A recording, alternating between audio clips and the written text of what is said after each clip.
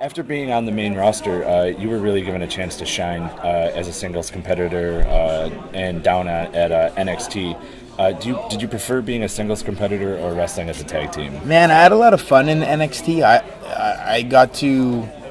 It wasn't just I didn't wasn't just I got to show everyone what I could do because actually I learned about what I could do. I learned a lot about myself and I um, developed and definitely expanded who I was and what I could do in terms of uh, I, I, think character wise. Uh, that's a tough question though. I, I love a great singles match, but I think I excelled and and definitely had a lot of success in WWE as a tag team. And I think, you know, I, I mentioned this to some people yesterday, but um, like my, I've had people come up to me and talk about.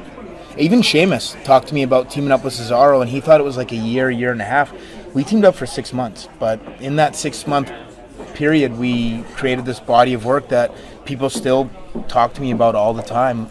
Uh, as and like I said, uh, and of course the success with David Hart Smith as well with Harry. So there's the there's the the fact that I got a, a chance to prove myself as a tag team and, and win the titles five years after winning them previously, it was a cool accomplishment to me that I was I was able to kind of find myself and, and reinvent myself and, and accomplish that again. And it was it was a it, as much as I like a lot of my singles matches, I there's something about the chemistry and, and teaming with somebody that I think I was I excelled in. I think it's something I excelled in, and I was able to able to bring out the best not only in my opponents but in my partners. That, that's what I truly believe.